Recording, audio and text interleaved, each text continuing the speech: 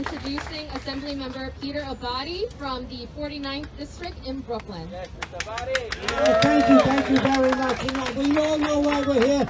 My colleague just said it. You know, we need transparency. We need this mayor. We want the exams. And now what's going on with COVID, we need them to give us guidance.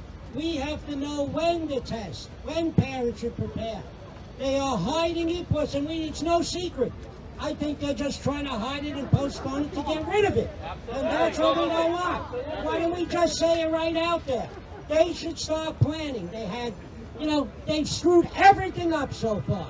Here's an opportunity to get something right. They should be planned. They had all summer to plan. We brought up before. There's a school schedule. There's a school schedule. They have to get to the parents and let us know when they're planning registration, the test itself. If not, what are we going to have? No freshman classes? No sixth grade classes in the schools?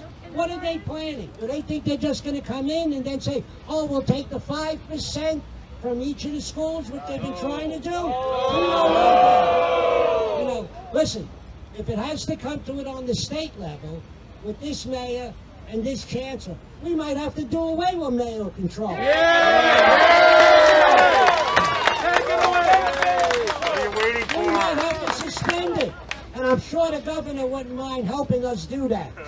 You know, What are you but waiting we for? really have to do something like that. Well, as soon as we get up there, you know, and I'm making a pledge today, if we don't see any action, we should at least suspend it until his term is over and until the chancellor is gone. You know what? That's a, just a distraction. They want to hear it. That's a distraction. We're going to get it done. We're going to have to change that. maybe